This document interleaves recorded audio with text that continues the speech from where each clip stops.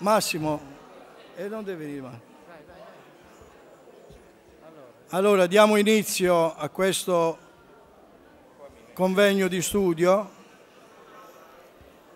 e porgo i saluti del magnifico rettore professor Uricchio, non è presente perché è impegnato a Roma e gli auguri di buon lavoro. Ecco, questo convegno di studio si eh, rientra diciamo, nel, nell'ambito del Master in Etica della Pace, Educazione, Diritti Umani ed Inclusione, di cui sono coordinatore, e eh, ringrazio innanzitutto Sua Eccellenza Monsignor Santò per, che ci ha onorati della sua presenza, poi il professor Massimo Borghesi che ci ha dato l'opportunità, questa bella opportunità culturale di discutere su un uomo che eh, ci fa riflettere, su un sacerdote che ci fa riflettere, il eh, magnifico rettore professor Di Sciascio e il professor Costantino Esposito che eh, ringrazio per aver accettato questo invito. Ecco, io una breve riflessione eh, su Don Giussani. Eh, Don Giussani è, è, un testimone del nostro tempo, ma soprattutto eh, tre tratti eh, caratterizzano la figura di Don Giussani. Praticamente la eh, passione per la bellezza, eh, avere a cuore i giovani e poi l'attenzione ai gesti quotidiani. Ecco, vorrei solo un attimo soffermarmi su questi tre aspetti perché eh, Don Giussani affermava se la bellezza è eh, lo, lo, splendore del vero, è anche vero che il gusto estetico è la modalità con cui l'uomo percepisce il vero. Questa passione avuta, è stata una costante della sua vita. L'altra è stata la passione per i giovani e in questo diciamo che c'è una certa affinità con Papa Wojtyła, con il quale ha intessuto anche una corrispondenza eh, epistolare molto particolare dal 2002 al 2004 sono due personaggi del nostro tempo che eh, fanno riflettere, soprattutto perché vengono accomunati da queste tre caratteristiche, la passione per la bellezza, l'attenzione ai giovani e l'attenzione ai gesti quotidiani. Ecco, i gesti quotidiani perché eh se Dio è il verbo che si è fatto carne, dice Don Giussani, allora anche la verità praticamente si è fatta carne, la bontà si è fatta carne, l'amore si è fatta carne. E lui ha avuto la passione per questi giovani e soprattutto per questi gesti quotidiani, perché affermava che il valore per essere tale deve essere incarnato, deve essere storicizzato, altrimenti non.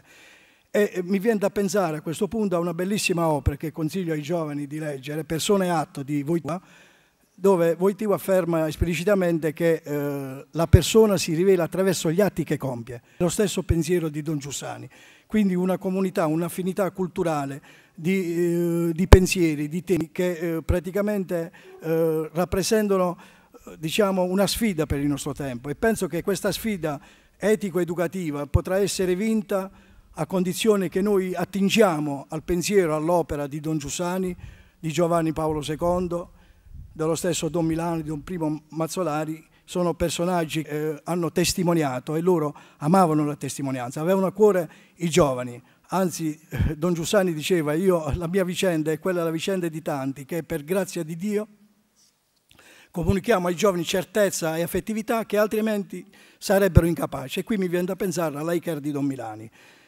Penso che eh, i relatori approfondiranno molto meglio di me tutti questi, questi tratti. Io ringrazio tutti i presenti e passo la parola al, a uh, Sua Eccellenza.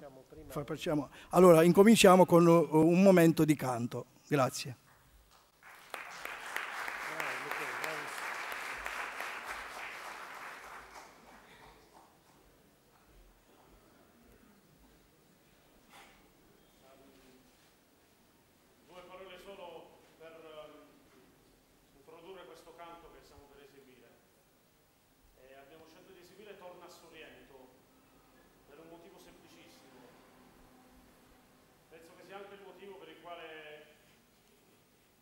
Bolzani vi ha anche speso tutta la sua vita, cioè cercare quel, quel, quella cosa vera, quella, cosa di, quella bellezza che ci faccia vivere.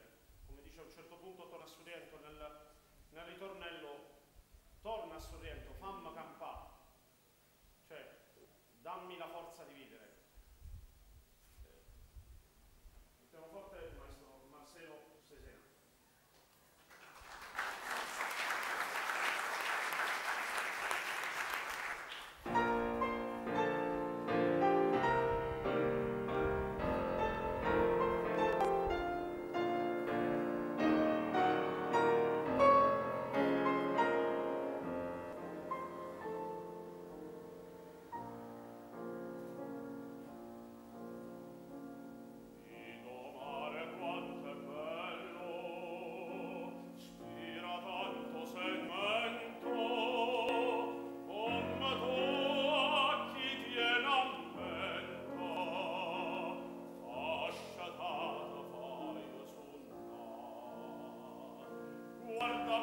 grace.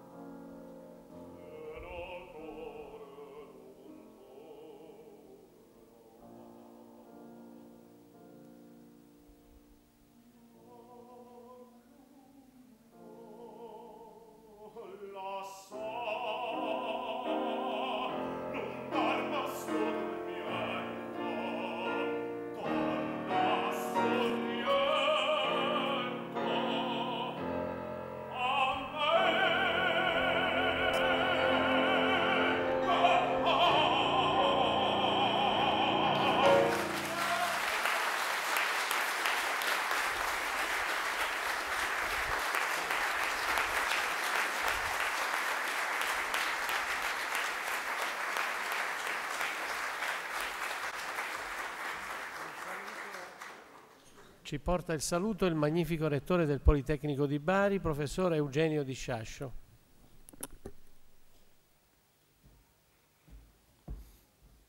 Che per l'occasione si rimette la giacca, diciamo così. Eh, porto il saluto ovviamente del mio personale del Politecnico per questo incontro e dirò veramente due parole soltanto. Ecco, chi abbia vissuto, per, anche se per un periodo, eh, l'esperienza del cammino, della sequela con, uh, con Don Giussani, sa che siamo feriti dalla bellezza, ma soprattutto siamo feriti da una ferita che non si rimargina. Cioè siamo feriti comunque da una compagnia, da una presenza che resta, resta nel tempo. Al di là del tempo che passa, al di là delle facce che di alcuni che rivedo dopo tanti, dopo tanti anni, esattamente questo quello che almeno per me resta. Resta il sapere di, che è un cammino, quello proposto eh, da Don Giussani, un cammino vero, un cammino eh, intelligente, un cammino che in qualche modo ci consente anche oggi, in un momento, vedete, Oggi è tutto vero ed è tutto falso, ugualmente. Noi viviamo esattamente in una condizione in cui ogni mattina ciascuno dice qualcosa. Come dico sempre ai miei studenti, voi non credete più in Dio, ma credete a Wikipedia, anzi alla prima pagina di Google, perché è questo quello che succede. Ci resta soltanto una testimonianza vera E questa è la prima cosa, perché io mi ricordo sempre una frase che ho sentito a suo tempo proprio da Don Giussani, ed era una frase credo di Nietzsche, non vorrei lanciarmi in cose, che diceva che vorrei, che i cristiani avessero faccia di gente salvata. Ecco, Don Giussani aveva la faccia di una persona salvata, aveva una faccia di una persona che eh, diceva delle cose che avevano un senso e soprattutto ti ricordava ogni giorno eh, che, adesso appunto come al solito la mia memoria non è un granché, che tra le vicende del mondo la, bisogna guardare sempre là dove la vera gioia e questo è un, è un segno, è un segno che resta. Quindi la figura di, di Don Giussani non è un ricordo, è una presenza sempre attuale ed è importante capire che quel cammino è ancora una possibilità, una possibilità di bellezza, cioè di vivere una vita con un senso. Lo dico in particolare per quanto sono stato studente universitario, perché è stato, pur avendo fatto gli esami tutti in regola, diciamo, anzi non in contraddizione, è stata la possibilità di fare una, una esperienza in più, di vivere un centuplo che giù davvero in un momento della propria vita. E quindi eh, vi, vi, ho detto due parole che non sono le parole del rettore, sono le parole di Eugenio che molti di voi conoscono. Buon lavoro e sono sicuro che sarà una bellissima...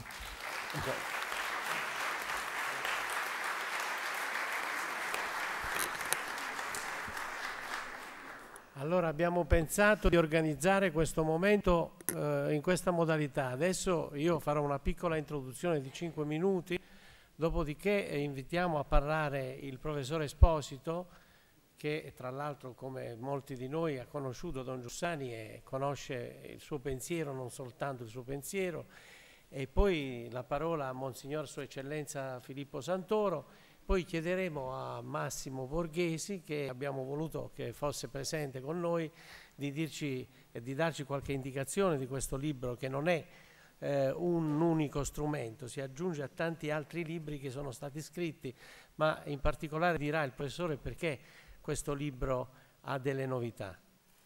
Dopodiché eh, ci sarà la possibilità di ascoltare eh, questo concerto Feriti dalla bellezza che rientra proprio nel tema che noi stiamo trattando.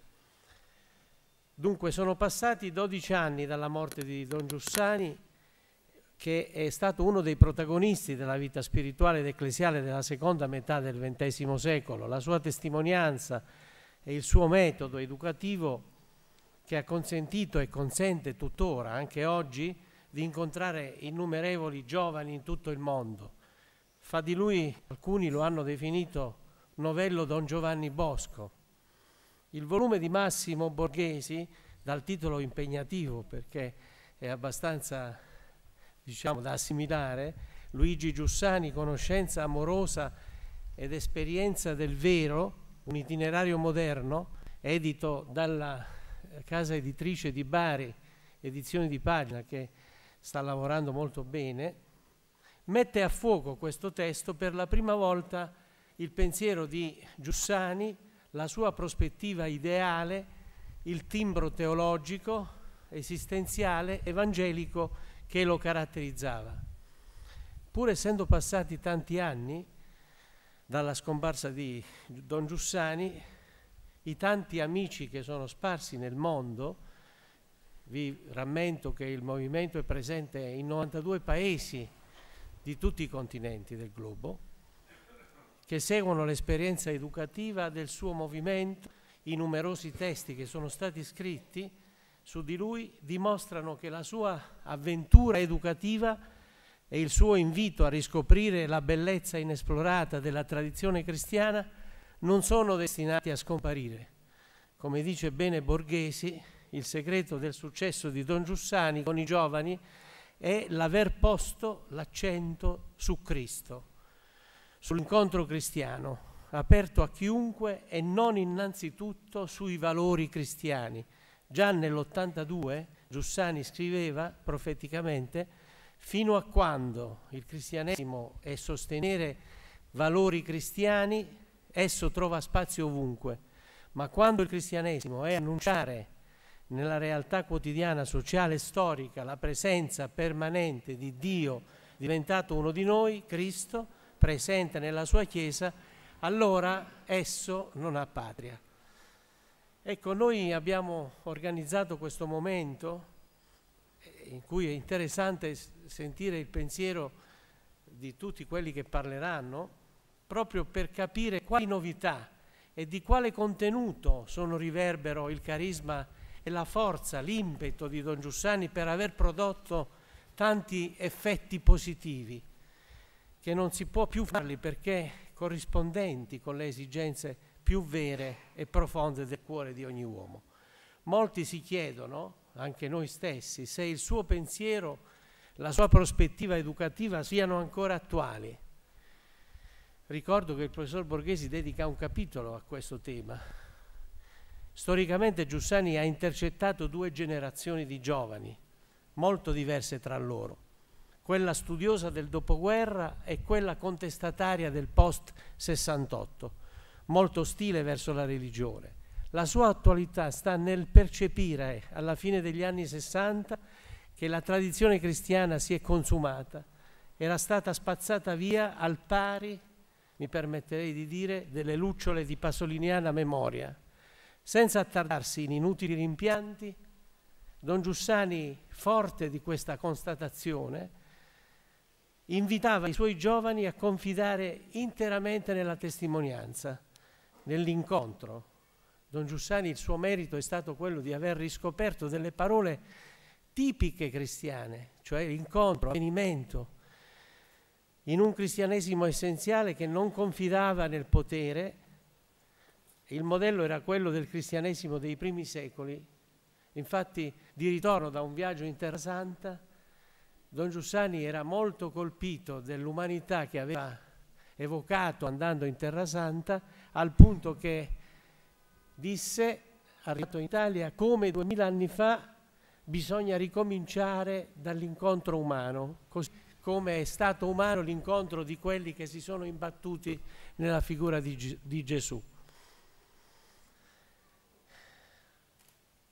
E per finire, passare poi la parola a Costantino, che sicuramente tracerà, lui per la verità non voleva accettare di parlare in presenza anche di Massimo, che è autore di questo libro, noi abbiamo insistito per la profondità anche della sua conoscenza di Don Giussani, e quindi prima di passargli la parola vorrei che ci domandassimo dietro un impeto missionario e educativo come quello di Don Giussani, che cosa si può scorgere? Perché solo la risposta a questa domanda può aiutarci a capire di più dell'esperienza del movimento. Don Giussani dirà, quello che conta, e finisco con questa frase, quello che conta nella vita della Chiesa di oggi è la vivezza della fede rinnovata non un potere derivato dalla storia, da una istituzione che si è affermata. Ciò che conta è realmente che la vita cominciata in Maria e Giuseppe, Giovanni, Andrea sia come accesa nel cuore della gente e la folla aiutata ad un incontro incidente sulla vita così come avvenne alle origini del cristianesimo. Don Giussani non ha aggiunto nulla a ciò che la Chiesa rappresenta, anzi ha umilmente, senza entrare mai in contrasto con la gerarchia cattolica, ha proposto semplicemente il centro del cristianesimo, e cioè che questa bellezza di cui l'uomo va alla ricerca si è fatta carne. Verbum cara, carum est, carum factum est. È solo questo che ha stato il successo di Don Giussani e continua ancora in questi anni attualmente perché l'esperienza è presente ovunque. Io penso che dobbiamo fare una meditazione su questo e poi un, un piccolo consiglio che vi do, comprate questo libro perché vale la pena leggerlo, io sono stato quasi costretto a leggerlo, però ne vale la pena perché racconta semplicemente, come è difficile che oggi un professore possa fare, quelli che sono i passaggi salienti di un'esperienza. Grazie.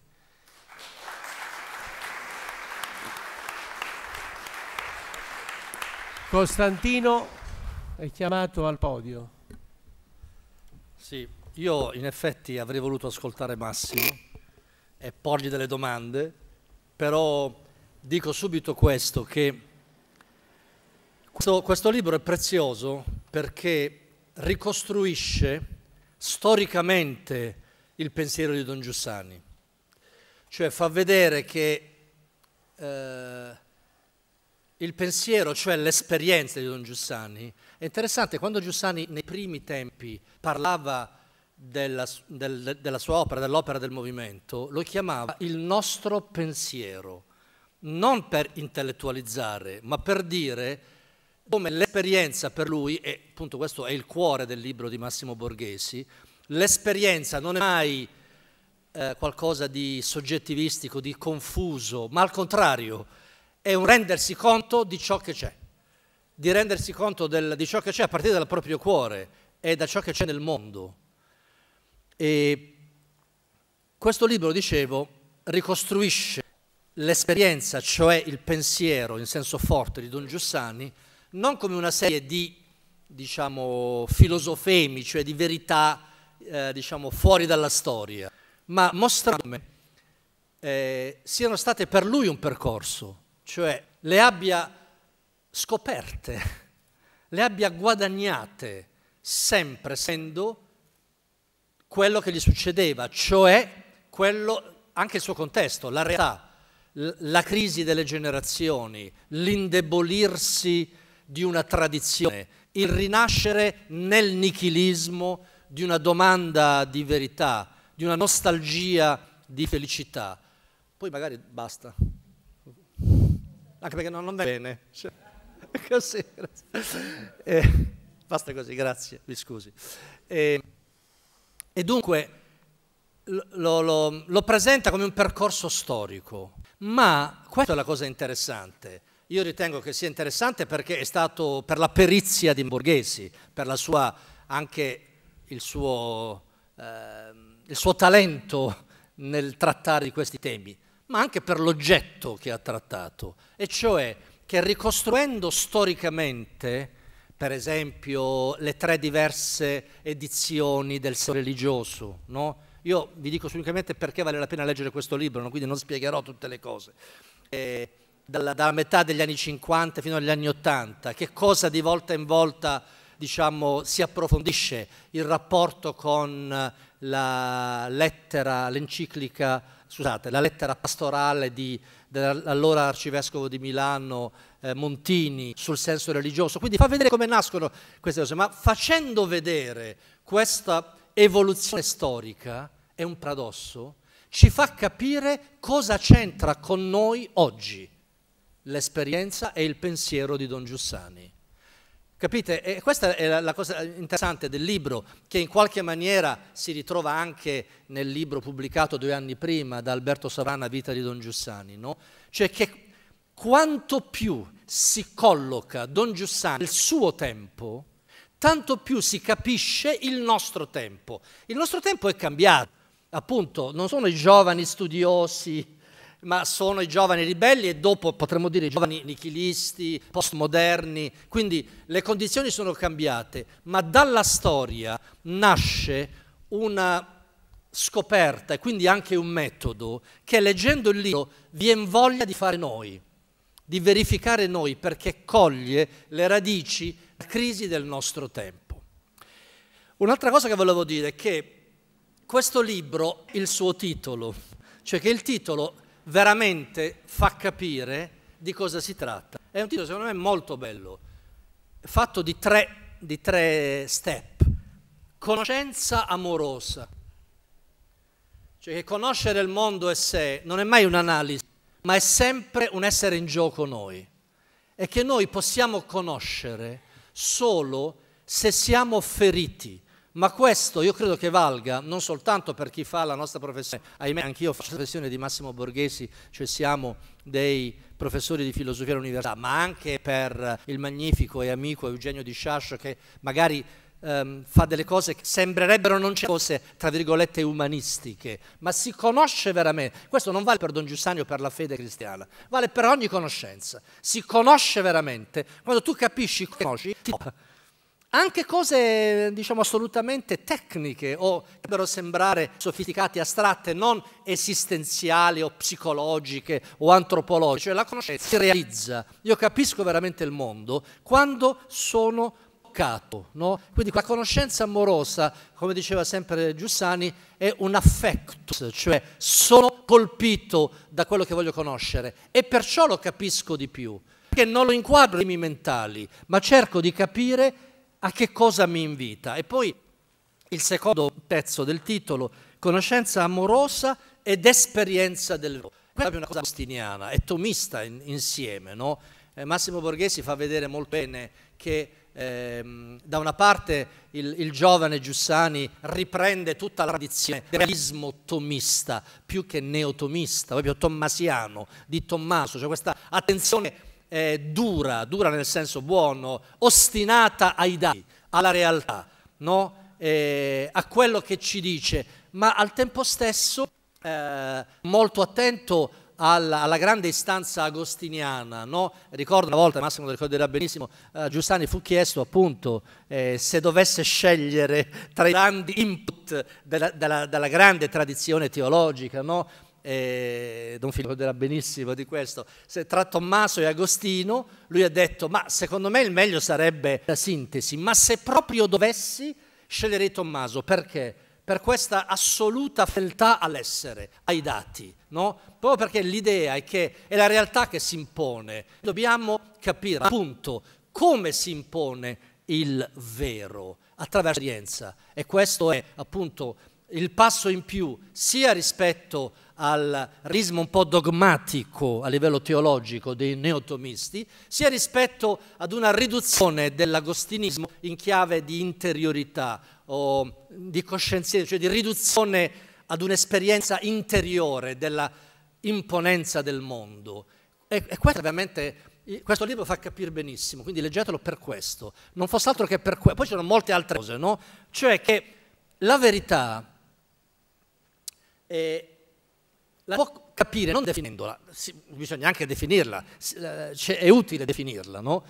Si può capire che cosa è la verità solo se se ne fa esperienza, cioè, ancora una volta, se il vero tocca l'io, tocca il soggetto e io posso scoprirlo perché poco o tanto è perché è un percorso, la verità mi conquista, mi tocca. E lo direi con parole mie, che la verità non è mai un assoluto, ma un accaduto, qualcosa che accade. E accadendo la verità, non accade mai senza di me, no? senza ciascuno di noi. Quando la verità accade, che maniera attende che un'intelligenza la riconosca. E così, ma sto, mm, non è semplicemente a livello di teoria filosofica, anche se mi perdonerete, secondo me le teorie filosofiche sono le cose più concrete che esistano, mm, anche se molti faranno difficoltà a pensarlo, perché dicono il modo con cui uno che anche non ha mai studiato filosofia si rapporta al mondo, a sé. Eh, ma questo è interessante perché anche nello sguardo ai nostri figli, al nostro lavoro, alla malattia, a, alla nostra storia, al nostro paese, politica, alla Chiesa, a tutto, alla persona amata o odiata, il punto è se noi siamo disponibili a dare una possibilità alla realtà di manifestarsi, cioè di farci capire la realtà che è vera. Ma questo è possibile per non essere un'ideologia che uno ti viene a dire ti dico io cos'è la verità, solo se la verità è una scoperta grazie all'attenzione, all'esperienza dell'io. Infine, terzo pezzo del tipo, un itinerario moderno. No? E questo è, diciamo, anche il pepe di questo libro no, eh, credo anche il motivo più graffiante per cui Massimo Borghesi lo ha scritto, ehm, per sottolineare una cosa che ad un attento ehm, lettori di Don Giussani e soprattutto ad un attento lettore dell'esperienza del movimento che da Don Giussani è nata con tutto quello che significa, eh, con la storia anche del movimento, con le riduzioni interne, esterne, con tutto quello che è una realtà integralmente umana, in cui c'è una traccia del divino, no? come la Chiesa. No? E, lo, lo, riconoscerebbe questa modernità, ma sta di fatto che per un certo periodo della nostra eh, cultura, della nostra stagione culturale, eh, Don Giuni è stato presentato in maniera assolutamente fantomatica come un autore reazionario o antimoderno. No? E, ma la cosa più interessante è che leggendo Don Giussani e quindi anche leggendo questo libro, eh, la modernità di Don Giussani è qualcosa che non soltanto va ribadita per onore della storia, no? ma perché può aiutare noi. Oggi noi, per, per tanti di noi, la modernità è finita. Si dice siamo nell'epoca postmoderna. E poi cosa vuol dire? Che i grandi eh, temi della modernità, il soggetto, l'io, la razionalità, no? la libertà della scelta, sono molto in crisi.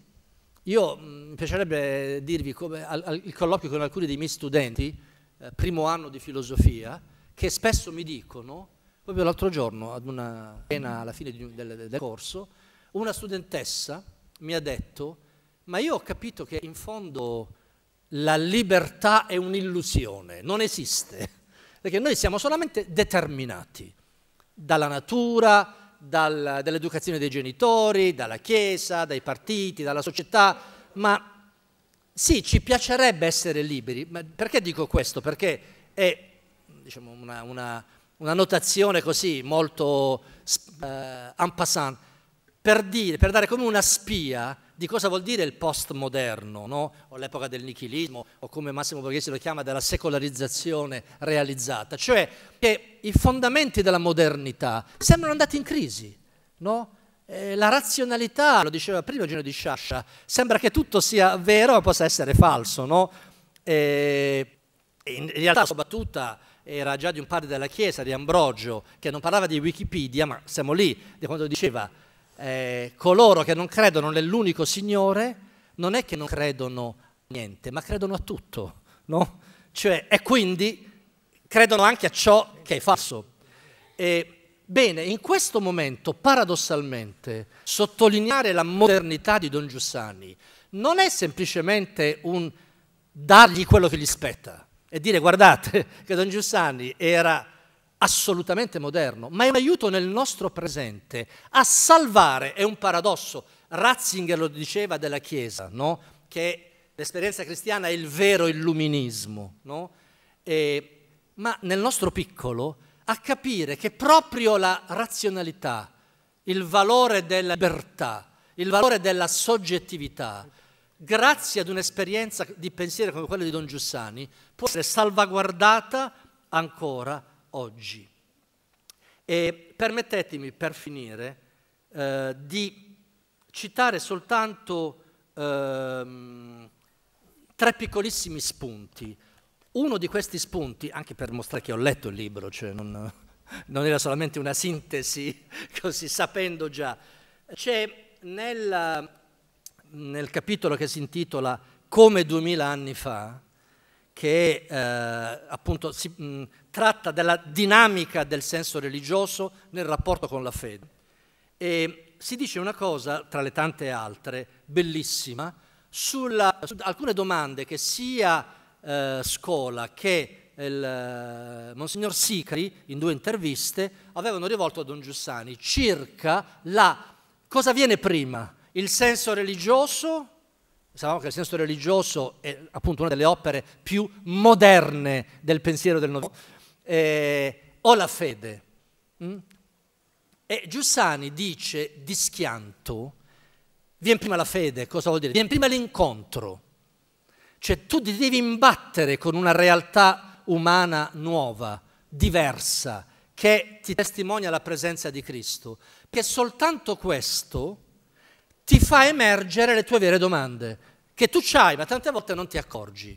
Però anche questa risposta è come dice a pagina 81 Don Sani, tuttavia non è matematico, cioè non è uno schema.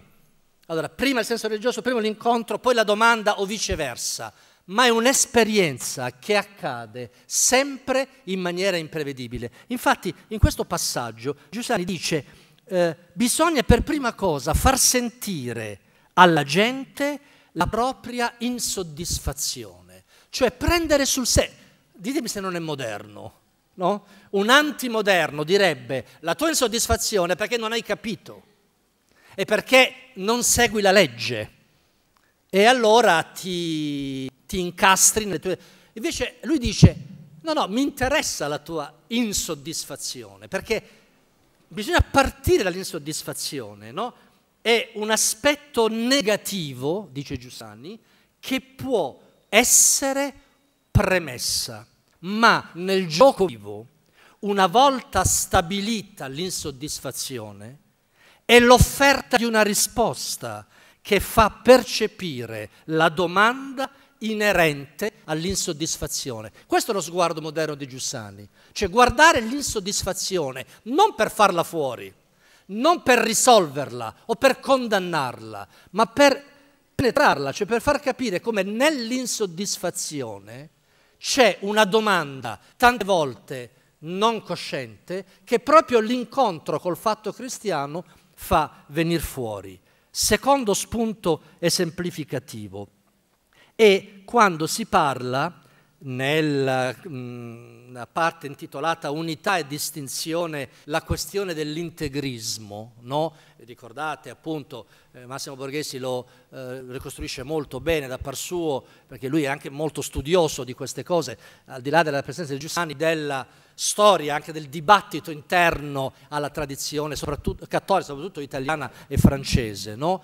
Eh, la, la, la, la, polemica tra presenza, i, i, i, cattolici della presenza, i cattolici della mediazione, con Maritain, contro Maritain, eccetera. Azione Cattolica, CL, Fuci.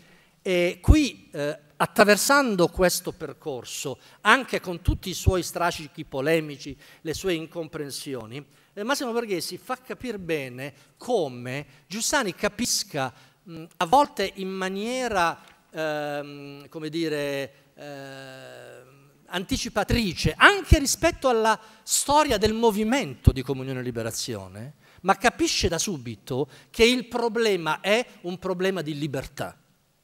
Non, eh, e cioè che la presenza non è innanzitutto un'utopia, non è innanzitutto una egemonia, ma è un uh, accanito salvaguardare spazi di libertà di tutti.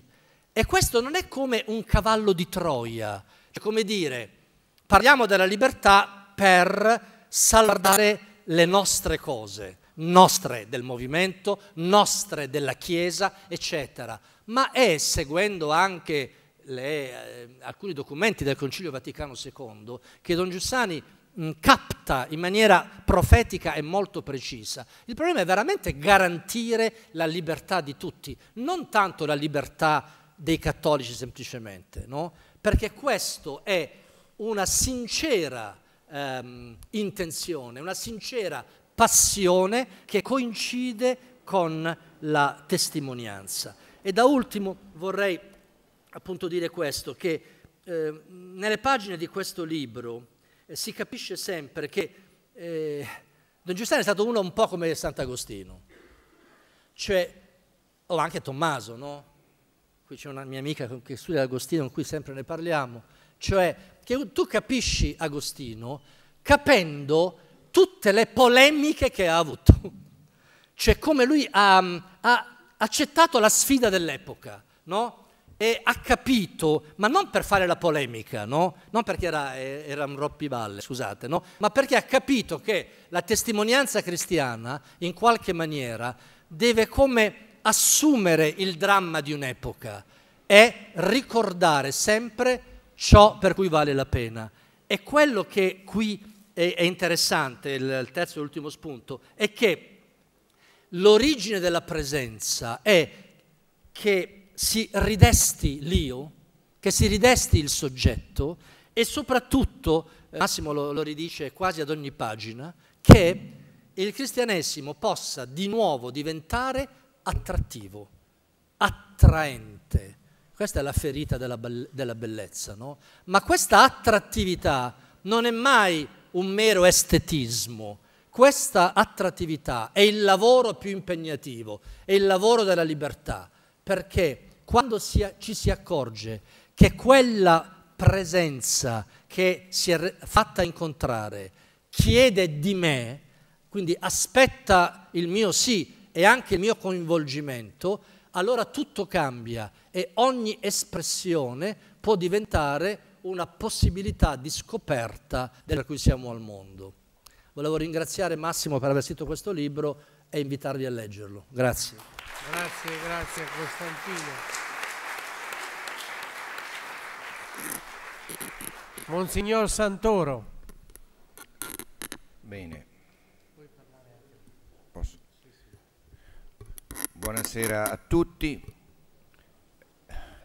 Un caro saluto a Massimo, a Costantino, al Magnifico, a chi ci ha, uh, è già intervenuto e volevo dire che è indispensabile un momento come questo perché eh, il lavoro fatto da Massimo Borghesi ci fa andare a fondo eh, del problema, della proposta di Don Giussani, analizzandola dal punto di vista dell'esperienza, della conoscenza, ma anche dei co- contenuti eh, culturali più profondi del nostro tempo, modernità, postmodernità, in una maniera originale.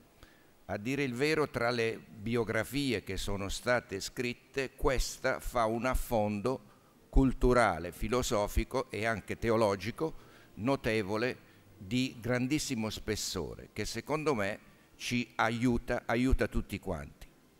E eh, io vorrei partire dall'attualità per eh, sviluppare il mio, il mio, giudizio e le mie osservazioni sul libro, sul contributo che Don Giussani ci ha dato.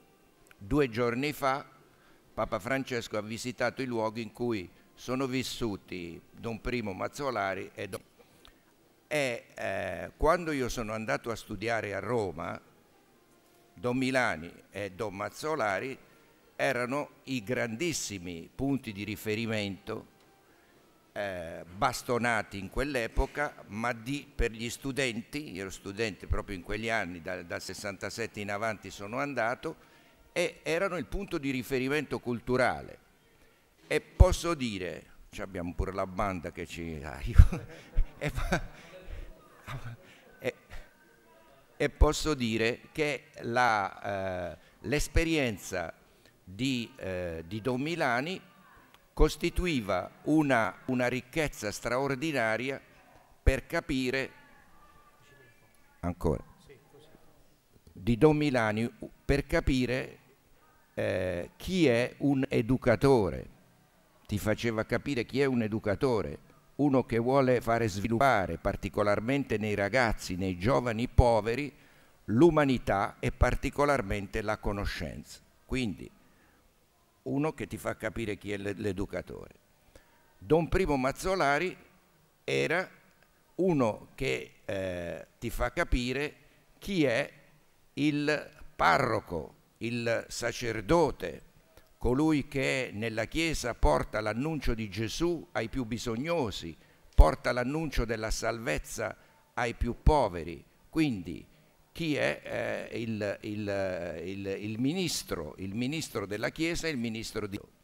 Tanto che nell'uno e nell'altro c'è una piena ortodossia e c'è una originale presa di posizione di fronte ai problemi più caldi del momento che servono anche, ancora oggi Ricordo che Don Giussani diceva di Don Milani, sottoscrivo tutte le parole che ha detto, quindi non, non c'è nessuno, pienamente. E, e, e quindi uno fa conoscere chi è l'educatore e l'altro fa conoscere chi è il ministro di Dio. L'incontro con Don Giussani, per me e per molti di noi, a questa, a questa uh, scoperta dell'educatore e del ministro di Dio aggiunge, scava diciamo dentro queste due ricerche, aggiunge una cosa, fa capire chi è Gesù. Non è poco, eh? fa capire chi è Gesù, cioè fa capire che c'entra l'annuncio che la Chiesa fa da secoli con le domande del mio presente. Il grande problema, perché il grande problema dell'annuncio è che da un lato abbiamo la ripetizione teorica del messaggio, il contenuto dogmatico e quindi le forme schematiche di riproporre il passato anche attraverso l'associazionismo cattolico e le varie, le varie altre esperienze. Una dottrina, una teoria dei riti, delle celebrazioni, delle indicazioni morali e quindi tutto un blocco che eh, sottolinea il contenuto della rivelazione. Dall'altro lato io come studente mi trovavo tutte le domande del 68, a parte il fatto che ero proprio a Roma, a Valle Giulia e gli altri momenti che si sono sviluppati, pur essendo in seminario, facevamo le nostre scappatelle in questo senso, cioè di partecipare per quello che era possibile, tutte le domande e le domande in quell'epoca erano le domande umane e le domande di autenticità, le domande di piena realizzazione della vita, le domande di significato, sull'affettività, sulla politica, su qualcosa di autentico rispetto all'establishment ecclesiale, politico e, e culturale. Quindi una domanda, domande di questo tipo. Ecco, da un lato noi avevamo il contenuto della rivelazione, dall'altra l'antropologia. Quali sono gli estremi in cui noi ci troviamo? Tra una ripetizione eh, teorica e molto spesso rituale e moralistica del contenuto della fede e una antropologia che esclude dal suo orizzonte, che esclude dal suo orizzonte una risposta più grande, che l'infinito, che il mistero possa venirci incontro e possa raggiungerci. Quindi una visione umana chiusa in se stessa, che poi col passare del tempo, col, col cadere delle domande della modernità, come ha detto Costantino, si è spappolato ulteriormente ed è rimasta la pura istintività che a sua volta è dominata dal potere del momento. Quindi que- in, questa, in questa situazione, tra una ripetizione meccanica dei contenuti e una, e una antropologia chiusa in se stesso, Don Giussani, come dice Costantino, come dice Massimo, è pienamente moderno, cioè accoglie la sfida, perché lo sentivo io, andandolo ad incontrare. Io innanzitutto l'ho invitato a predicare un corso di esercizi al Capranico dove studiavo e mi ricordo che dopo ogni meditazione gli facevo le domande e poi dopo, facendo la cattolica, andandolo a sentire alle sue lezioni. L'umanità era presa sul serio, le domande erano prese sul serio, non erano condannate, anche quelle sballate.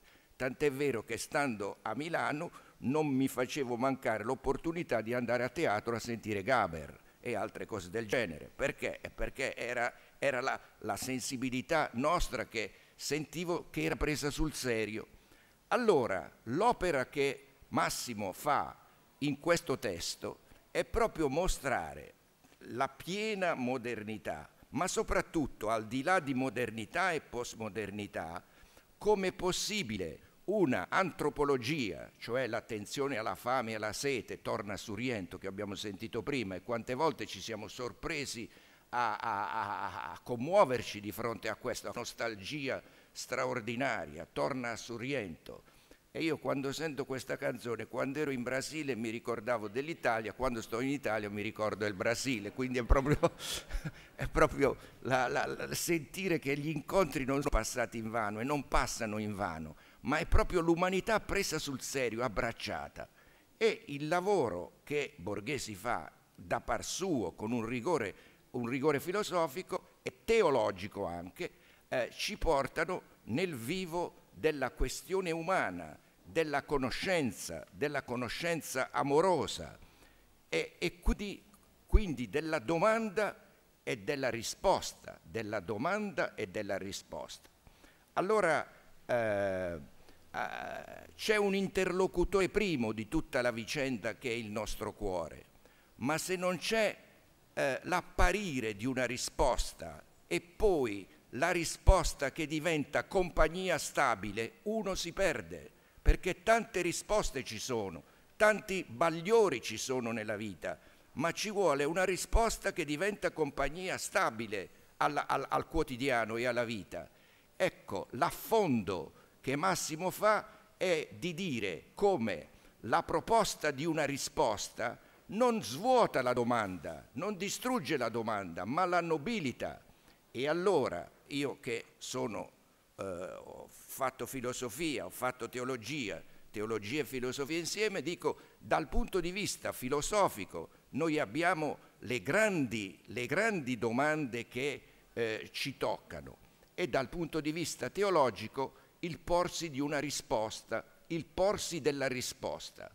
Come quello che Don Giussani ha fatto è superare la contrapposizione, è superare la dialettica, è, è, è, fare una sintesi di questi due momenti, ma non a livello di riflessione accademica, ma a livello di incontri umani e di esperienza. Già la scelta di, di lasciare l'insegnamento della teologia e di andare a insegnare al Berchet significa che io voglio stare di fronte alle domande dei giovani e mi faccio provocare da loro e la novità non è data come un pacchetto all'inizio, la novità accade mentre io mi faccio provocare dalle domande, non ne lascio cadere una, anzi sfido tutti quanti a vedere se le risposte che vi danno sono giuste o se sono sbagliate, senza considerarne, senza eliminarne nessuna. E quindi in questo itinerario io eh, identifico, Costantino ha fa fatto l'affondo sulla conoscenza amorosa, quindi non ripeto il passaggio fatto, ci tornerò dopo, ma soprattutto un momento in cui eh, Massimo dialoga con la teologia e in particolare, e in particolare diciamo, con il teologo Karl Rahner, che è il maestro dei teologi del mondo, il maestro eh, del passato, finché attraverso Don Giussani e altri noi abbiamo conosciuto von Balthasar, abbiamo conosciuto De Lubac, abbiamo conosciuto altri, per cui eh, quella cosa anche in me studente si è, si è incrinata, è stata affrontata eh, criticamente. Ma eh, qui si pone eh, quella eh, rivelazione e, domande umane in, in, in, negli stessi termini la questione che Costantino ha posto come senso religioso e fede. Allora è chiaro, e io pongo alcune domande a cui Massimo può eh, rispondere e approfondire. È chiaro che c'è una ripresa della categoria del senso religioso come l'ha elaborata il Cardinal Montini nella lettera suscitata, il eh, Paolo VI, perché proprio sintesi dello spirito umano, sintesi del dinamismo umano. Allora in questa, che cosa fa Paolo VI? Ripiglia la sete la fame di, di, di, vita, di verità e di bellezza che ogni persona ha, la riprende. E Don Giussani cosa fa? Non solo la descrive, ma ti fa vedere negli incontri con i ragazzi, negli incontri con i giovani, come questa, questa fame, questa sete agisce, come la curiosità naturale si sviluppa, come questa domanda è una domanda, come come dandogli la polpa delle domande che, che Pavese, che Leopardi pone in piedi, costituiscono l'umanum nella sua integrità, l'umanum nella sua integrità che è il senso religioso, non un senso religioso particolare, un umano pieno, la domanda, la domanda grande. Allora eh, la, la, la, la, mia affermazione è che Don Giussani eh, riprende e approfondisce l'itinerario specifico eh, messo in piedi dal Cardinal Montini con questa originalità esperienziale, con un affondo esperienziale, con un'esperienza, mai facendola diventare un discorso, ma noi dalle prime pagine del senso religioso sentiamo la provocazione fatta alla nostra vita. È come se si definisse l'interlocutore, non una umanità generica, ma un, un'umanità come ce la ritroviamo noi, come me la ritrovavo io, come ce la ritroviamo tutti quanti, un'attenzione. Allora eh, dico, è debitore a, a, a, a Montini, ma ne eh, sviluppa in modo originale tutto un percorso, un percorso molto ampio e molto, e molto eh, interessante. Un secondo punto è la questione tra senso religioso e fede con questi altri due termini, senso religioso e avvenimento. Senso religioso, Costantino ha già spiegato, è, ed è chiarissimo. Cos'è che Don Giussani a partire fino agli, fino agli anni, questa, questa, intervista di scuola a, a Don Giussani è eh, verso la fine degli anni Ottanta per la rivista Comunio. Allora, cos'è che accade in quel momento? Accade la, che, eh, la, la forma esplicita in cui si dice l'originalità è data dalla risposta. La risposta fa emergere tutta la ricchezza della domanda. Però anche la risposta, lo metteva bene in luce Costantino, non è una formula, ma è l'invito a percorrere l'itinerario della conoscenza. La risposta fa svegliare e attiva il senso religioso, perché molte volte la domanda può essere viva, ma l'annuncio di Cristo è per tutti, anche chi avesse una domanda eh, pallida, perché la domanda è costitutiva dell'essere. Perciò in, in, in, in questa dinamica si può dire così, che la risposta precede la domanda.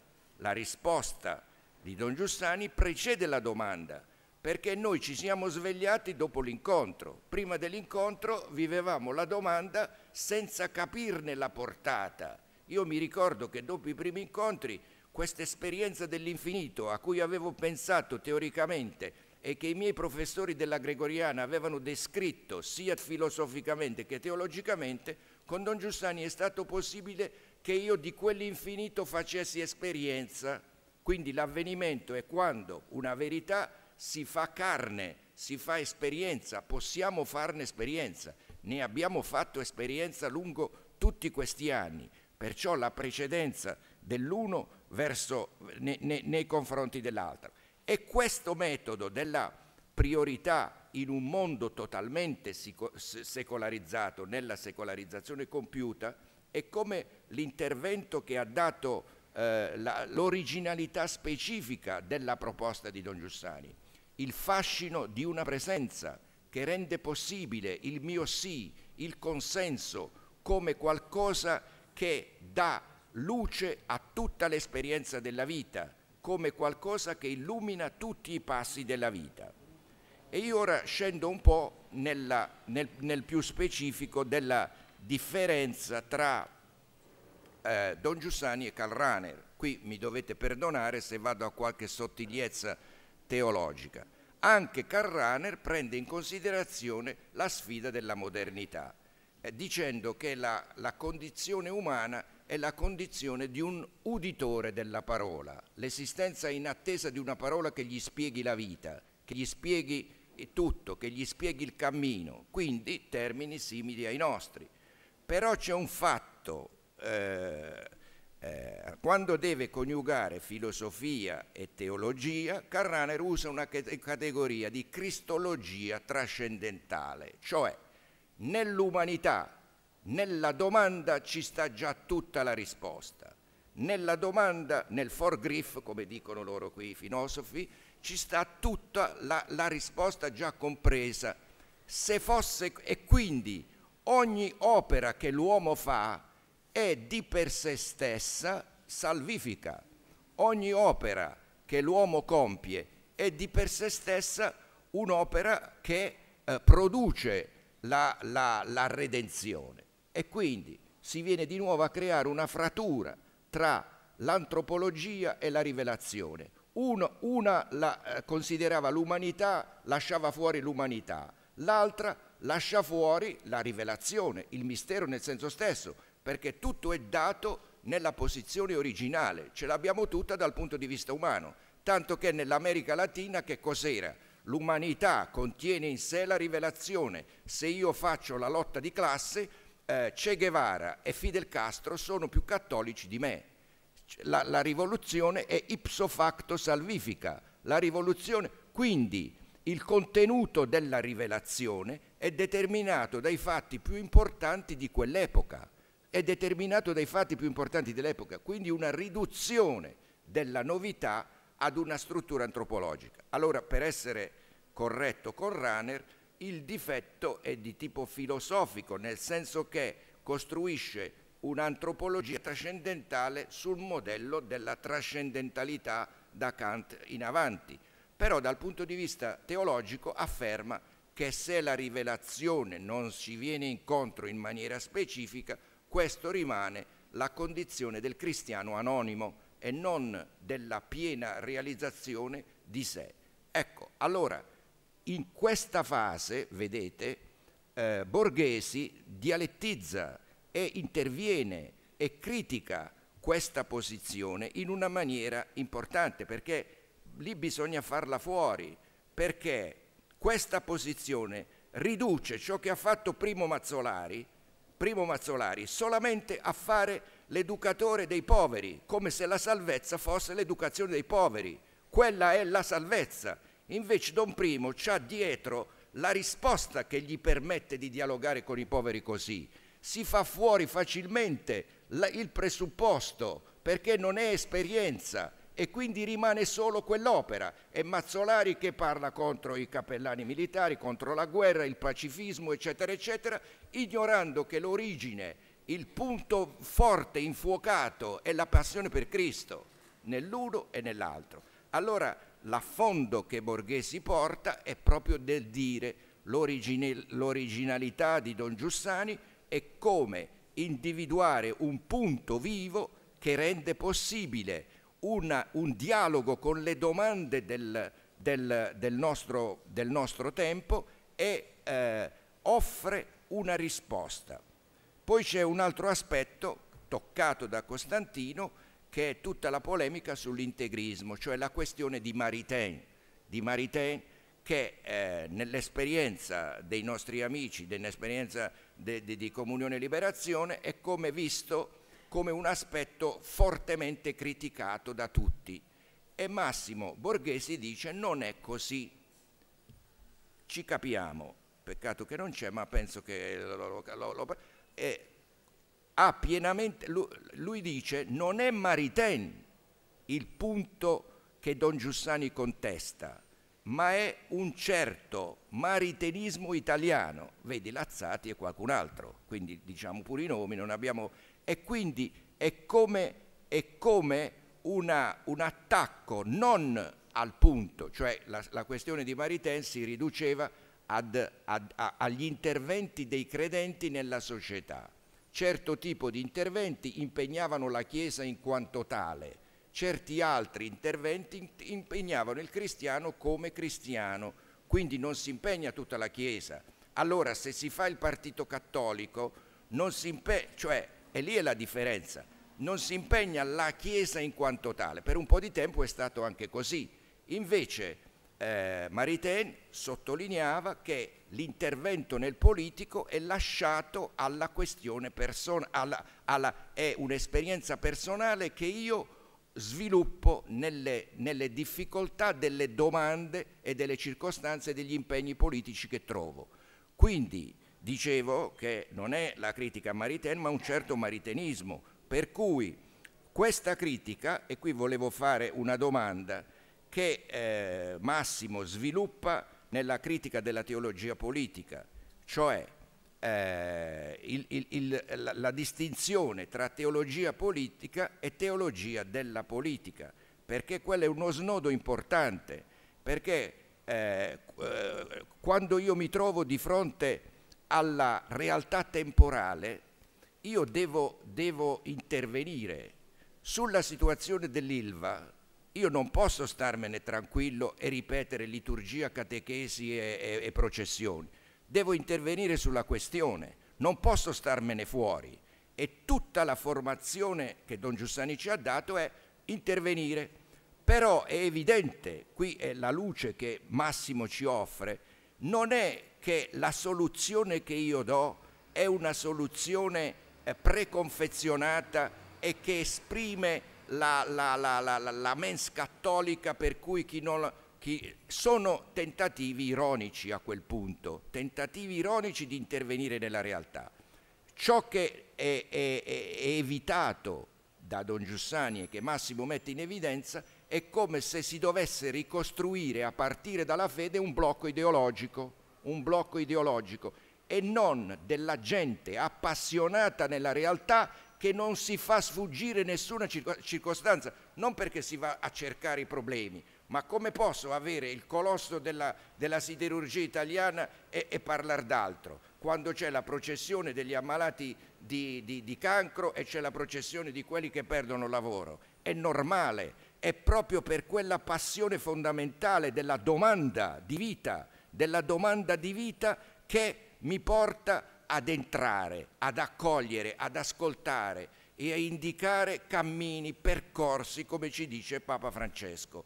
Allora, il, il punto è che un, una chiarezza ancora su questo aspetto è che poi c'è un altro riflesso nella questione, nella questione dei, valori, dei valori comuni.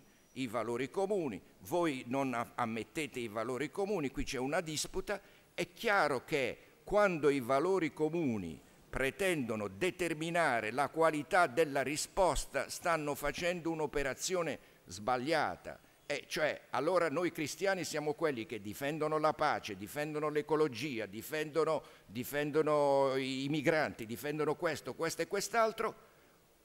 Possiamo e dobbiamo anche farlo. Io nella conferenza episcopale sto nella commissione per i problemi sociali, lavoro, giustizia e pace, perché questi problemi non, non, non ci sono estranei, costituiscono il dramma, le domande, le ansie, le attese, ma non, il, il, il nostro compito come Chiesa di una commissione della conferenza episcopale non è trattarli come li tratta un sociologo o come li tratta un analista sociale, è trattarli come uno che è appassionato alla vita, alla felicità, all'esistenza di tutti, in particolare dei più poveri, dei più abbandonati, ma, ma con quel cuore, con quella passione. Nel trattare il problema devo mettere, metto in evidenza quello che mi occupa il cuore, quello che mi, mi interessa di più, quello che mi appassiona e quello che mi appassiona determina una posizione originale sia con gli ambientalisti che mi vogliono tirare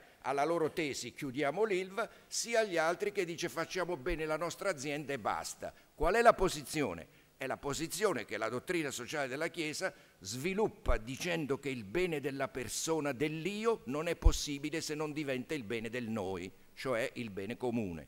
Quindi c'è una originalità in questa forma, è tutto il problema della testimonianza la testimonianza, la provocazione che ci viene non è snobbata, non, non, non, non mi, mi, tocca, ma allo stesso tempo è accolta senza che ne diventi, una, eh, ne, ne, ne diventi un'egemonia. E qui il tema è appassionante sopra, sopra moltissimi aspetti, ma io vedo che per ciascuno di noi anche questo studio portato avanti con rigore, con intelligenza, ci fa appassionare a, a, alla, alla, alla realtà, alle sfide che abbiamo giorno per giorno, non solo alle sfide politiche, alle sfide che abbiamo nella famiglia, alle sfide che abbiamo davanti alle malattie, alle sfide che abbiamo nelle circostanze quotidiane. Non è una risposta di tipo politico connotata fuori del mondo politico non vale, no, vale per la vita, di cui il politico è un aspetto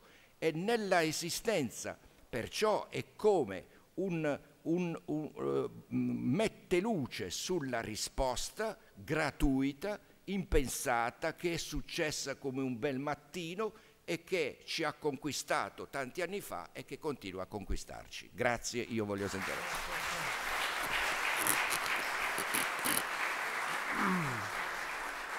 Allora, in attesa che l'agenzia ANSA diffonda la notizia che Don Filippo scendeva dal Capranica per andare alle manifestazioni di Valle Giulia.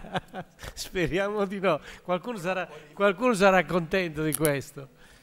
Chiediamo a Massimo di farci un piccolo commento alle cose ascoltate e soprattutto ci dica di questo libro perché l'ha scritto e soprattutto gli chiediamo di fare in maniera tale che poi possiamo leggerlo questo libro.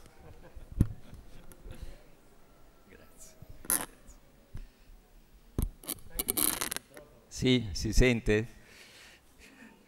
Allora, grazie innanzitutto, davvero voglio ringraziare eh, il rettore innanzitutto, Eugenio che è qui con noi, so che anche il rettore Uricchio voleva venire ma è stato impossibilitato perché è a Roma, eh, Monsignor Santoro, Monsignor Filippo, quello che ci ha detto adesso, Costantino Esposito, Michele Indelicato, grazie davvero e naturalmente eh, per le cose che ci avete detto che sono preziose, che tengo molto presente, grazie per l'impegno anche nella lettura del volume e, e naturalmente un ringraziamento particolare non posso non farlo a Domenico Viola che si è sobbarcato letteralmente l'organizzazione di questo bellissimo incontro eh, che penso che Giussani sarà contento della, di questo omaggio che è stato fatto e che naturalmente merita senza dubbio, però eh, so quanto impegno ci ha dato e,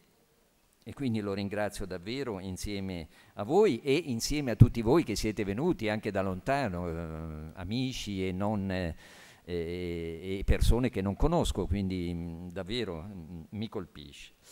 Perché ho scritto questo libro? Eh, due parole brevi, ma eh, innanzitutto per un debito di riconoscenza. In qualche modo glielo dovevo. eh, Giussani mi ha dato molto nella mia vita, è stato un grandissimo educatore il mio stesso pensiero, beh, io insegno filosofia, deve tantissime cose che non starò ad elencare, tantissimi accenti, ma soprattutto nella mia fase universitaria, giovanile, dei, dei miei studi. Io ricordo ancora come la lettura dei suoi libri e gli incontri avuti con lui mi spalancassero continuamente orizzonti, uno dietro l'altro. Eh, io peraltro a 19-20 anni non ero cristiano, insomma, non ero credente, quindi l'incontro con lui, con la sua storia, ha determinato la mia conversione, il mio essere cristiano, quindi come non essergli grato, no? Eh, e quindi questo libro è stato innanzitutto un atto di omaggio a lui, eh, un atto di omaggio dovuto anche eh, al fatto che, eh, se mi è permesso dire, paradossalmente tra i tanti libri pregevoli, preziosi, dedicati a questo grandissimo educatore, eh, non ce n'era ancora uno che trattasse in maniera sistematica il suo pensiero che tentasse di ricostruire il suo pensiero, perché Giussani ha un pensiero, e ha un pensiero profondo, robusto, no? eh, ecco, questo è, è, stato il motivo per cui ho, ho scritto questo volume.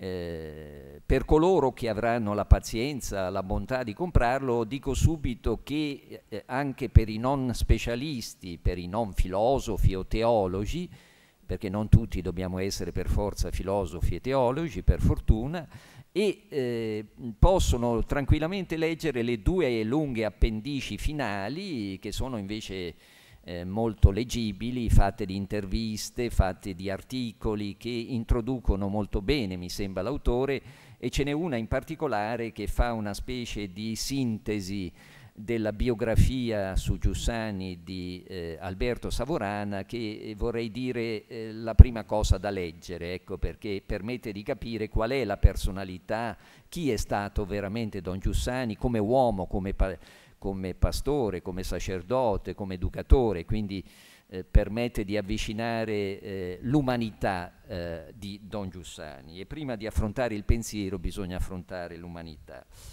Ebbene, questo per dire anche una cosa, cioè che all'inizio, nel caso di ognuno, ma nel caso di Giussani in particolare, all'inizio non c'è un pensiero, all'inizio c'è un accento, c'è un pathos, no? Perché un uomo è essenzialmente il suo cuore. Un uomo non è innanzitutto il suo pensiero. Noi abbiamo persone molto intelligenti, no? eh, che sono totalmente aride. Non è l'intelligenza che salva l'uomo, ma il cuore, sì. E questo vale per tutti e vale sicuramente anche per Don Giuseppe. No? Poi questo cuore deve rendere ragione di sé. E questo nel caso di Giussani è palese, evidente, tant'è vero che il sottotitolo di questo volume è Conoscenza morosa. No? Conoscenza morosa. Mi ha colpito studiando, mm, l'avevo notato, ma fino a un certo punto, poi leggendo con attenzione i suoi testi, anche quelli meno letti, ho visto che soprattutto negli ultimi anni, a partire dagli anni Ottanta in avanti, eh, dalla metà degli anni Ottanta in avanti, eh, Giussani insiste sulla conoscenza amorosa. Non basta conoscere, ci vuole una conoscenza affettiva, una conoscenza che nasce dal cuore e che ritorna al cuore. Perché il cuore è il fattore che ti lega alla realtà. Perché noi, mentre la, mentre la ragione astrae dalla realtà, il cuore ti riporta alla realtà io guardo la televisione, vedo eh, un terremoto, vedo un attentato terroristico, ci siamo purtroppo abituati, spegniamo la televisione e continuiamo la scena. Ma se, ma se lì c'è un mio amico, se lì c'è qualcuno che io conosco, che io amo, è, è diverso. Io immediatamente ho la percezione della realtà. Il cuore mi riporta sulla realtà. Quindi la conoscenza affettiva, la conoscenza per essere reale deve essere affettiva. In questo senso quello che Giussani voleva era un pensiero esistenziale. No? Eh, Costantino eh, ci diceva prima giustamente che eh, per la sua formazione Giussani era certamente molto attento a valorizzare la lezione di Tommaso, no? E però è vero anche che il suo Tommaso è un Tommaso che non si oppone ad Agostino, è un Tommaso anzi che richiede Agostino, cioè richiede il grande dottore cristiano dell'affettività, del cuore. No? Nulla rimane se non c'è un ideale che diventa carne, che diventa affetto, che diventa cuore, che diventa storia. Questo è un pensiero. No? Giussani fu tre cose contemporaneamente. Fu un grande intellettuale, ed è l'aspetto forse meno evidenziato. Fu un umile parroco in una fase della sua vita e fu un grandissimo educatore eh, a partire dal 1954 in avanti. Queste tre dimensioni vanno tenute presenti, tutte e tre, tutte e tre vanno tenute presenti. La biografia di Savorana permette, certo è un'impresa ciclopica, sono più di mille pagine, quindi non è uno scherzo, però almeno la prima parte della sua vita, che è quella meno nota, eh, varrebbe la pena per chi è curioso di questo. Intellettuale, cosa significa intellettuale? Giussani teneva moltissimo alle sue radici, spesso anche dentro il movimento che lui ha fondato, eh, come accade spesso in queste cose di, rispetto ai fondatori, sembra quasi un meteorite. Eh, no, no. Giussani ha una storia alle spalle. Giussani viene dal grande seminario teologico di Venegono, in Lombardia, che tra la metà degli anni 30 e la metà degli anni 40, quando lui ha studiato teologia per tanti anni, ebbene era il principale seminario teologico in Italia, quello che aveva il, dei teologi di prim'ordine, che diventeranno poi cardinali, vescovi di Milano, consiglieri teologici di Paolo VI, abbiamo il meglio della teologia italiana. Eh, Giussani viene da una grande scuola, io mi ricordo un mio caro amico sacerdote che è venuto a mancare troppo presto, che mi diceva appunto questo, lui stesso aveva studiato a Venegono e mi diceva come Giussani tenesse a Venegono. Ma diamine, questo è importante. Se si vuole capire una formazione di un uomo bisogna andare a, agli studi, ai maestri che ha avuto. Hanno inciso tutto questo. Ebbene, eh, in quegli anni lui studia Newman, il grande Newman, il convertito inglese, quello che apre al Concilio Vaticano II come prospettiva. No? Studia eh, un tomismo aperto, cioè il pensiero di San Tommaso, ma non in maniera ottusa. Il tomismo di Venegono è un tomismo cristologico, fondato su Cristo. E tutta la scuola di Venegono già precorre il Concilio Vaticano II. No? Eh, per farvi un'idea breve di, di quali apporti ha avuto Giussani a Venegono, vi cito un brano breve di uno dei suoi maestri, che era per lui il vero maestro, a cui Giussani era affezionatissimo, si chiamava Don Eugenio Corti. Vi leggo un brano del, di Don Eugenio Corti. Quando io l'ho letto ho detto, ma questo non è, Don, questo è Giussani. No, è Don Eugenio Corti. Dal mio libro è a pagina 96. Dice Corti riguardo alla conoscenza di Cristo, dice, per conoscerlo nella sua concreta personalità storica, deve in un certo modo frequentarlo, Cristo, come l'hanno frequentato gli apostoli ed i primi discepoli, che hanno tratto da questa esperienza diretta la loro fede in Lui.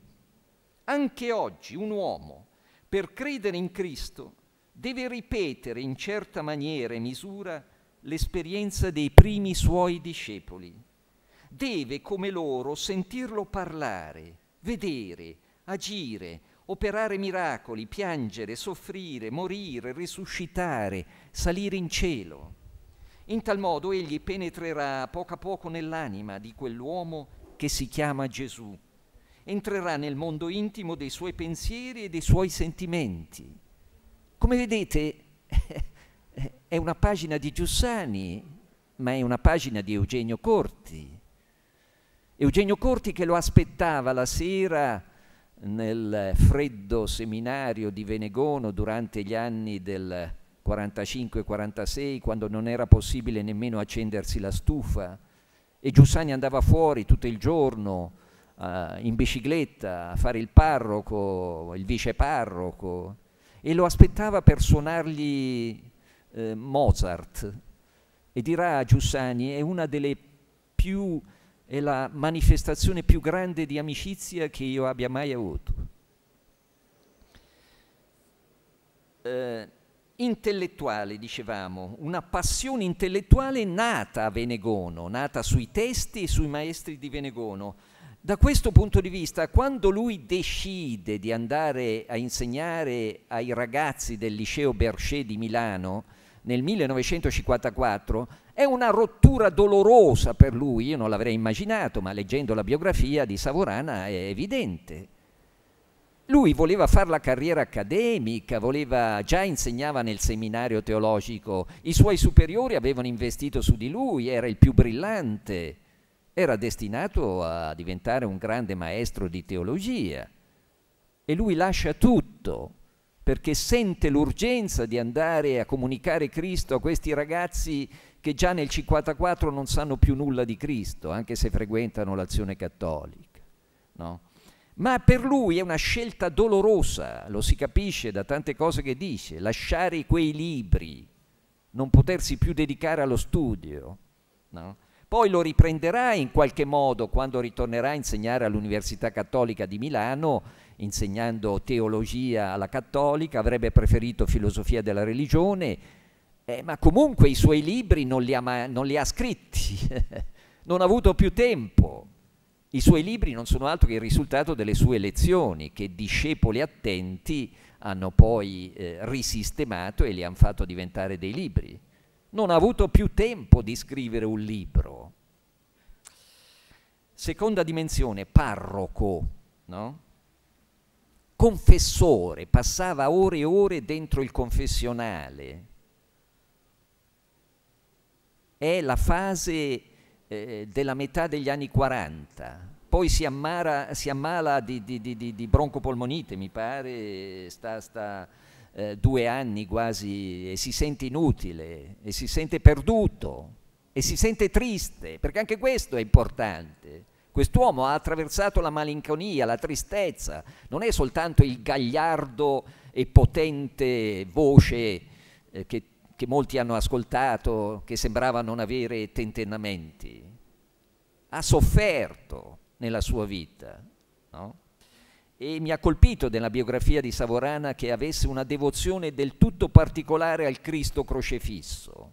Tant'è vero che nella sua mi pare proprio nel santino della ordinazione c'è eh, un Cristo crocefisso, se ricordo bene. Quindi è, anche questo è un Giussani più segreto, più mistico, meno noto, ma importante. Parroco e confessore, mh, mm, è importante che non sia so, soltanto stato il, il teologo o il maestro di scuola. È importante per un prete che sia stato anche parroco che abbia conosciuto davvero l'anima delle persone, che le abbia condivise, che abbia condiviso il peccato e la grazia, il peccato e la misericordia. Sappiamo tutti come l'ideale di, di Papa Francesco è quello del, del parroco, perché nel parroco viene fuori, quando si immerge nella carne della sua gente, viene fuori davvero l'umanità fino in fondo e quegli anni di esperienza di parroco secondo me hanno inciso molto nella personalità e nella formazione di Giussani. Non è mai stato un intellettuale arido, era un intellettuale che si portava dietro il volto e anche nel senso religioso mi ha colpito, io non lo sapevo, che l'episodio lì del, del ragazzo, eh, come si chiama, del del, del, mh, mm, di quello che nella Divina Commedia Capaneo, di Capaneo che sfida Dio, no? quando Giussani nel senso religioso dice ci sono due posizioni, o la bestemmia o la rivolta o, o la grazia, e cita ca il Capaneo dantesco. Leggendo la biografia di, di Savorana ho visto che il Capaneo era un ragazzo che era andato da lui a parlare, ed era violentemente contro la Chiesa, contro i preti, contro la religione. E, quando, e, e, e, questo ragazzo gli aveva detto, Luigi si chiamava, si chiamava Luigi, aveva detto, dice, la mia posizione è quella di Capaneo. E Giussani gli aveva detto, ma non è più bello, più grande chiedere? No? E sto ragazzo se n'era andato e, e, e, poi era tornato. Dopo qualche mese era tornato e diventano amici. E questo Luigi gli, gli dà del tu, che allora del tu al prete, e diventano amici. E dopo qualche mese muore in un incidente di, di motocicletta, eh, destino tragico, e Giussani rimane colpitissimo perché gli voleva un bene dell'anima a questo ragazzo. Ebbene, Capaneo nel senso religioso, dietro c'era Luigi questa è la, è la, è la posizione. Educatore, la, passione, la terza figura, la passione intellettuale al servizio dell'incontro cristiano. E in qui si colloca il rapporto tra cristianesimo e modernità. Eh, Monsignor Santoro ha detto bene, per Giussani il cristianesimo doveva intercettare la sensibilità moderna. Eh, due minuti e terminiamo. Abbiamo due minuti? Due minuti e terminiamo. No? Eh, gli autori di, di riferimento, a, me ha sempre colpito questo, si chiamano Giacomo Leopardi e spesso anche Cesare Pavesi. Ma perché un prete di quegli anni eh, si fa venire in mente Leopardi e Pavese invece di citare eh, l'ecclesiastico di turno o il, lo stracattolico di turno? Cioè cita un ateo, Leopardi, perché lui stesso era rimasto colpito, le domande di Leopardi erano le sue al liceo. Quest'uomo aveva una sensibilità esistenziale moderna così forte proprio perché eh, era stato colpito da quelle domande sul senso della vita, del dolore, della morte. Ed è lì che lui capisce che Cristo è la risposta. Dirà, non sto a leggerlo, non abbiamo tempo, no? ma dirà letteralmente che la sua avventura culturale è iniziata quando ha capito la frase di Giovanni, il verbo si è fatto carne. E come l'ha capita quella frase? L'ha capita mettendola in rapporto con Leopardi che amava. Perché quello che Leopardi attendeva era che il verbo si facesse carne, non idea astratta, ma carne. E che quindi il senso del mondo potesse condividere il dolore, la morte, la gioia, la vita, la felicità degli uomini. Questa era l'unica risposta che poteva rispondere a Leopardi. Da qui nascono le categorie del suo pensiero che non posso qui delineare, chi lo vuole naturalmente. Sono tre, le indico soltanto, senso religioso, incontro o avvenimento, esperienza. Dico solo che questi concetti che a noi sembrano quasi normali, negli anni 60-70 erano in odore di eresia.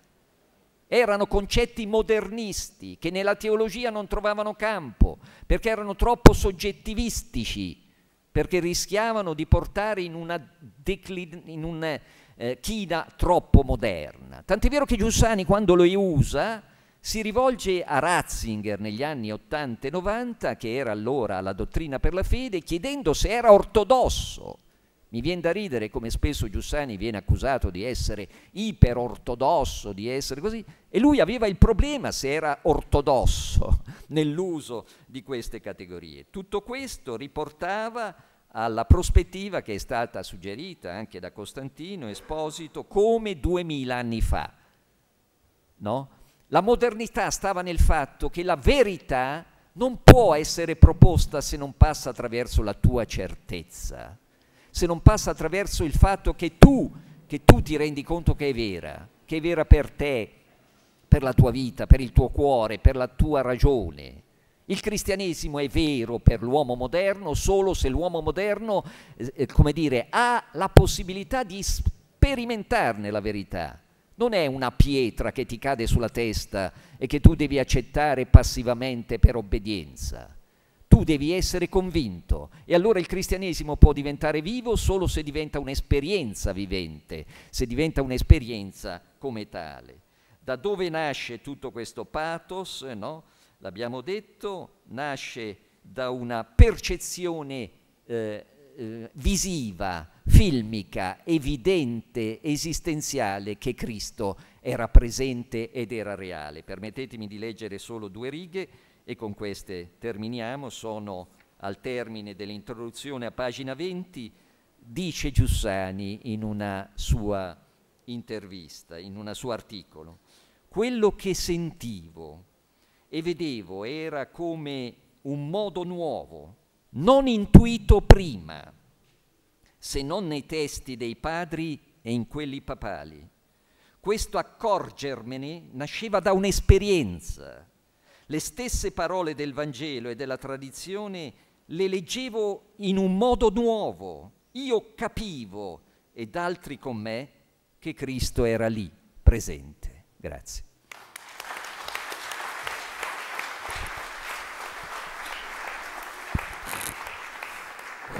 Grazie a tutti, segue subito il concerto Feriti dalla bellezza di, del maestro Marcello Cesena e ringraziamo il consorzio Icaro che ha permesso questo momento. Grazie.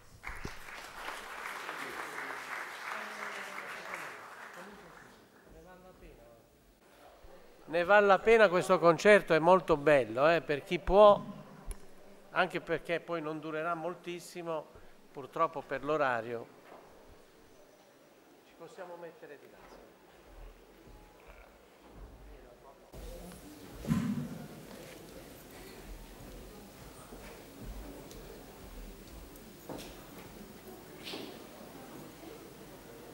Música